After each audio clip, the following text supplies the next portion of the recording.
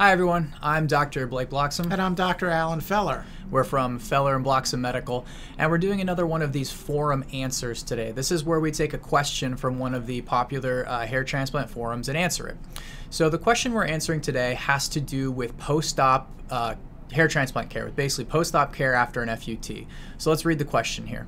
I had a hair transplant a couple of days ago. There is what looks like a pimple with a whitehead in the crown area. Should I pop it? I was told not to use alcohol on my grafts, so how can I disinfect the area?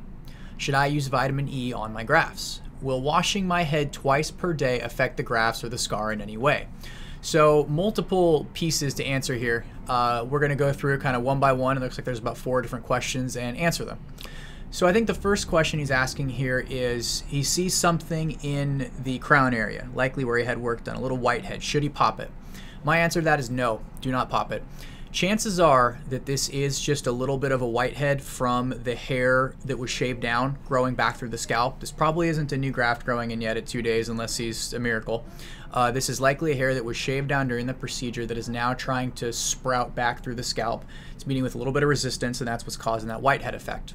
You don't want to pop this. The reason why you don't want to pop this is because your fingers and likely any sort of little tool you would use to pop this is dirty. Even if they look clean, even if the, you, you, you think they're clean, you've got bacteria all over everything.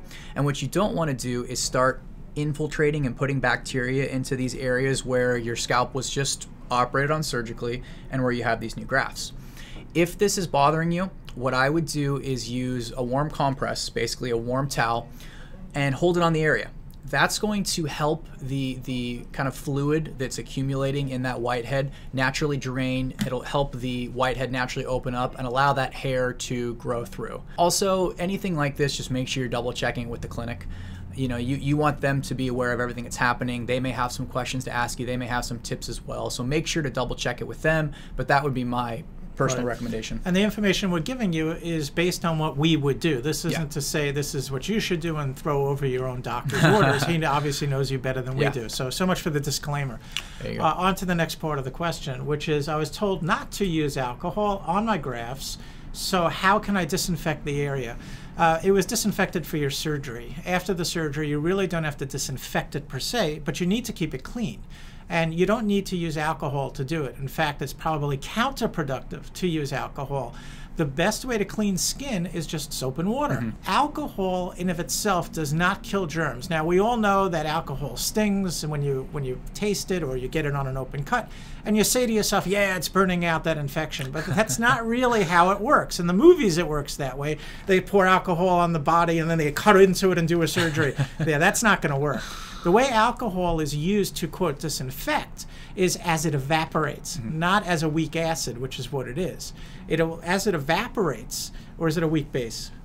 Uh, alcohol should be a weak base. I always forget I the tip. Whatever it is, it's it's caustic something or it's science, acidy. Something sciencey. Something sciencey. Yeah. But but for our purposes, when you were using alcohol, to, you know, on your CPR dummy or when you cleaned a, a wound, uh, it's not the alcohol that you're using as a disinfectant like we use in our operating rooms. We use real disinfectants.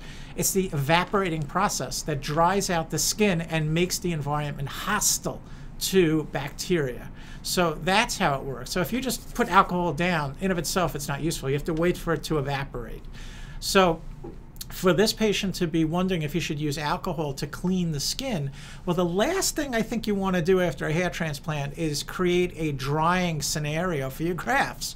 You don't want to draw moisture out of the grafts any more than you want to draw moisture out of your eyeballs. I mean, that, that's a bad day. So you don't want to use alcohol after surgery. It's, it's, it's only going to dry out your grafts and it's not going to kill uh, bacteria.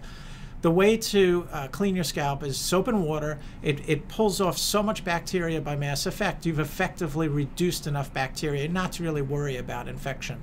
Uh, you've done the most you can without hurting the grafts. The grafts do not mind having suds on them no. and then pouring water on them, even a day after the procedure. In fact, we tell our patients you can go right in the ocean after a couple of days. It's really no problem. Mm-hmm. So uh, don't use alcohol on your recipient or your donor area ever. Next question here Should I use vitamin E on my grafts? Simple answer no. Do not put vitamin E on your grafts. Uh, you don't want to put a lot of stuff, period, on your grafts. Like Dr. Feller was just saying, you want to keep the grafts clean.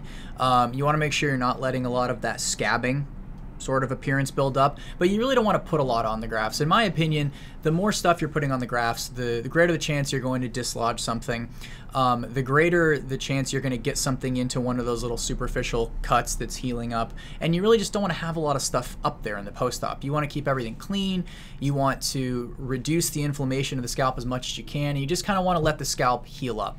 Uh, some doctors will advise you to put vitamin E on the scar, on the the donor scar in the back. I think that's an entirely different issue. Um, you know, some think it helps, some think it doesn't. Do it if you want. It's not Yeah. going to hurt. But as far as putting on the grafts, no. That Yeah. would be my advice. No.